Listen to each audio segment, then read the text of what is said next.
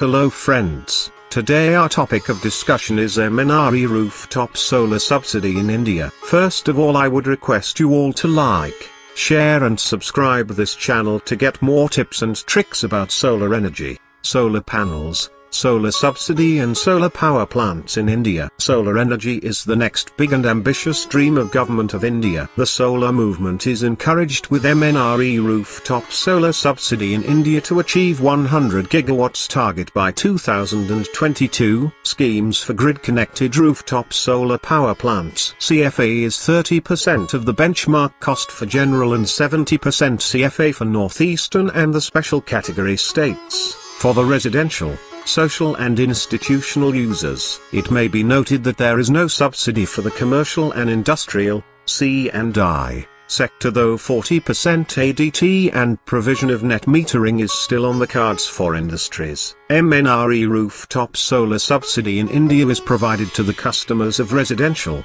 institutional and social sector, NGO, NPO, via MNRE and State Renewable Energy Department's SNA, state nodal agency, like HAREDA, PEDA, GEDA and UPNEDA etc. Procedure to avail MNRE rooftop solar subsidy in India stepwise. Step 1 Simply, users are to apply online for installation of grid-connected rooftop solar power plant through the portal designated by state nodal agency. You may like to take help of solar vendors, solar EPC company for processing your application. Step 2 SNAs evaluates your project and redirects the same to Chief Project Officer, CPO, of your district. Most of the time additional Deputy Commissioner, ADC, of your district is assigned the task of CPO. Step 3 Renewable Energy Department under ADC acts as district nodal agency for pre and post installation inspections of the site and coordinates with SNA, MNRE for grant, Release of MNRE solar subsidy.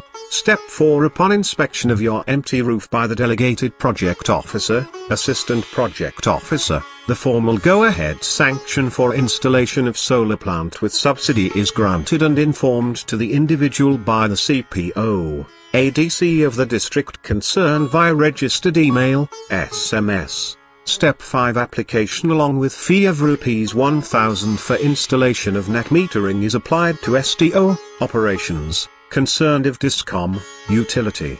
Step 6 Upon acceptance of net metering application, the user may select an EPC company, solar vendor, solar developer for installation of grid-connected rooftop solar power plant. A power purchase agreement, PPA, for grid-connected solar power plant is also signed between user and Discom utility. Step 7 Place an order with reputed and established EPC company, solar vendor of your area after thorough search and proven track record in past.